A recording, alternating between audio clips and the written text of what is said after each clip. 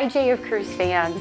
One of my favorite things to do here at JF Kruse is to help couples with wedding bands. I love how it gives me the opportunity to really get to know them as a couple, but then also help suggest wedding bands and styles that also fit them and their personalities individually.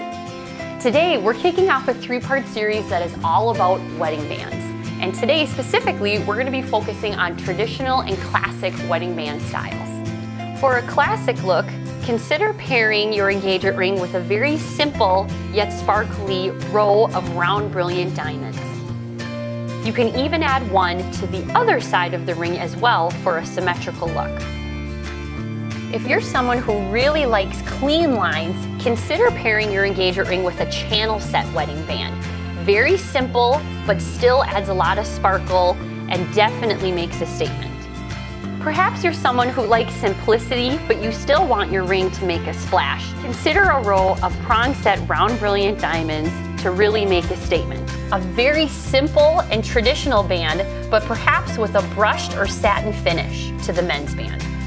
You can even incorporate small round brilliant diamonds to add a hint of sparkle feel free to stop by and visit with one of our friendly non-commissioned team members here at JF Kruse to get some wedding band design ideas that fit who you are. Stay tuned for our next video where we're going to be focusing on vintage wedding band design ideas. Thanks for joining us and we hope to see you soon.